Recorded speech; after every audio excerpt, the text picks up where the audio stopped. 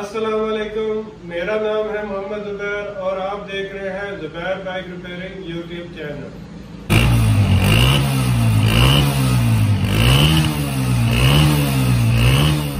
बिसमीम दोस्तों, आज की वीडियो बहुत ज़बरदस्त और इंटरेस्टिंग होने वाली है।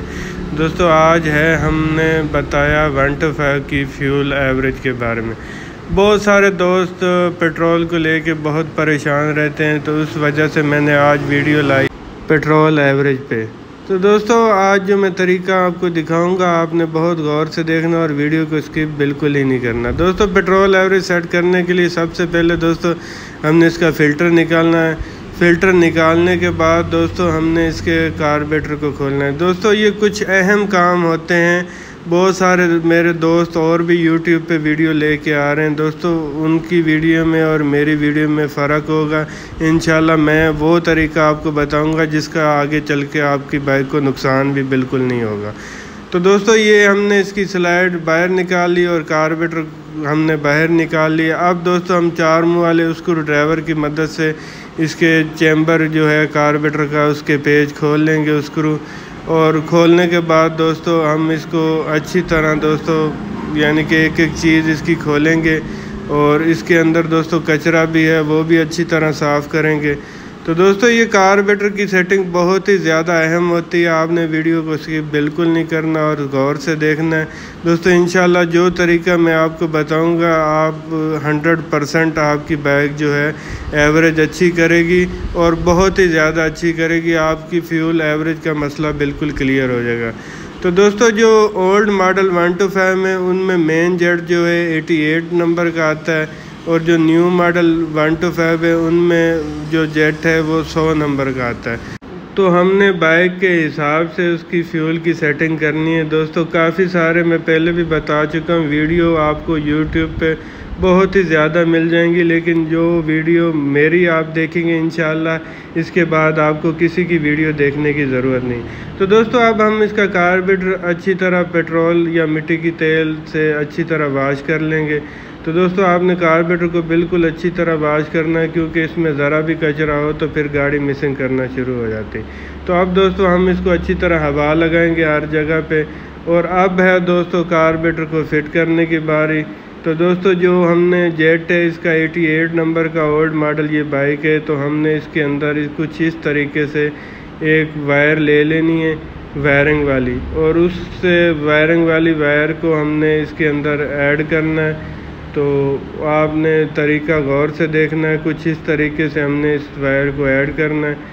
तो अब हम जेड को दोबारा टैड कर देंगे। दोस्तों, काफ़ी सारे हमारे दोस्त जो हैं, वीडियो में स्लो जेड के अंदर भी तार लगा देते हैं। लेकिन ये इंतहाई तरीका गलत है, स्लो जेड के अंदर तार नहीं लगानी चाहिए। क्योंकि दोस्तों, जब भी हम बाइक चला रहे होते हैं, अगर हम 40 तक चलाएँ तो इसका स्लो जेड काम करता है। अगर 40 से ज़्यादा स्पीड हो हमारी तो यानी कि हमारा पायलट जेट, मेन जेट जिसके अंदर अभी हमने तार रखी है, वो काम करता है। दोस्तों, कोई भी काम है, अगर आपने उसको प्रॉपर करना तो पहले उसके बारे में आपको नॉलेज होना बहुत ज़रूरी है। तो दोस्तों, अब हमने इसके जो है फ्यूल यानी कि कार्बेटर के अंदर जो इसका लेवल है, वो थोड़ा कम करना है। तो कुछ इस तरीके से हम यानी कि इसको कम करेंगे। एक गत्ता यानी कि हमने फ़िल्टर वाला ले लिया और कुछ इस जगह पे आपने तरीका दोस्तों बार बार मैं बोल रहा हूँ, गौर से देखना है, वीडियो को आपने स्किप बिल्कुल नहीं करना, क्योंकि जो चीज़ मैंने आपको समझानी है, वो फुल वीडियो देखने के बाद ही आपको समझ आएगी। तो दोस्तों कुछ इस तरीके से हमने गत्ता यहाँ पर रखना है ताकि जो हमारा न्यूट्रल वाल है, जो पेट्रोल को रोकता है, वो थोड़ा यानी कि हमने उसका लेवल कम करना है।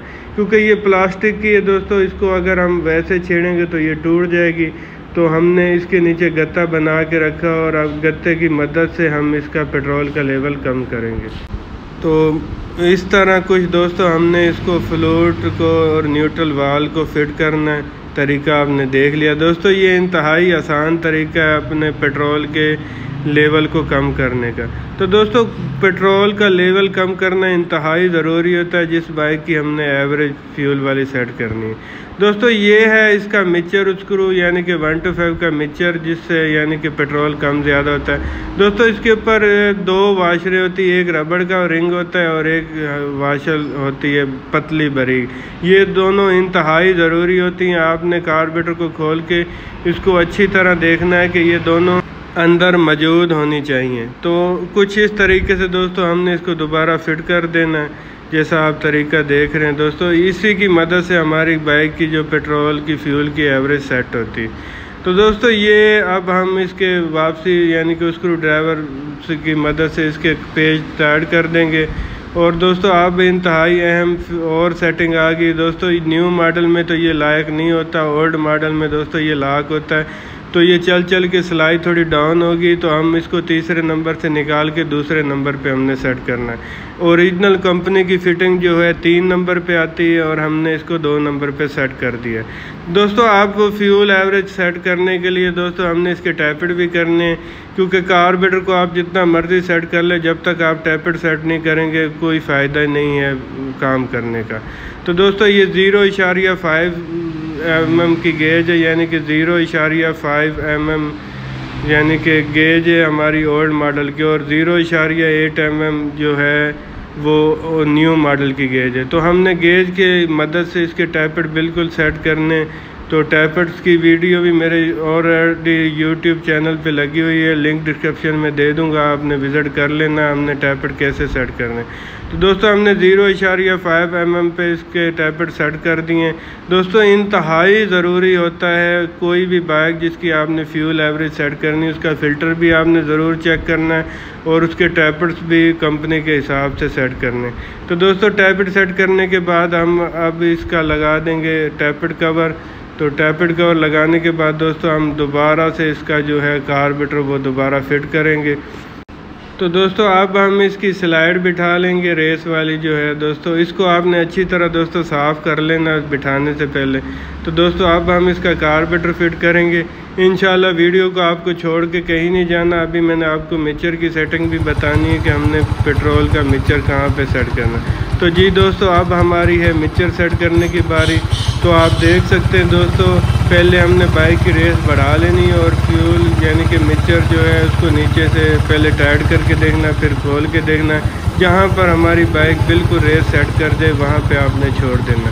तो दोस्तों, आप देख सकते हैं कि हमारी बाइक बिल्कुल सेट हो चुकी है। उम्मीद है वीडियो दोस्तों, आपको पसंद आई होगी।